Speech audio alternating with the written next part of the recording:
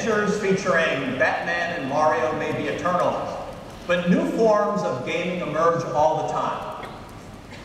In this current generation of home systems, the music and fitness genres came into their own.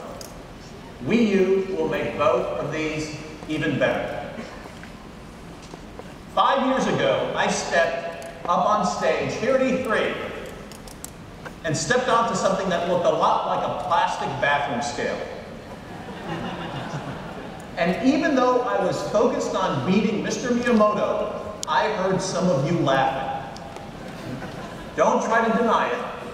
I heard you. yes, my body was ready. Yeah.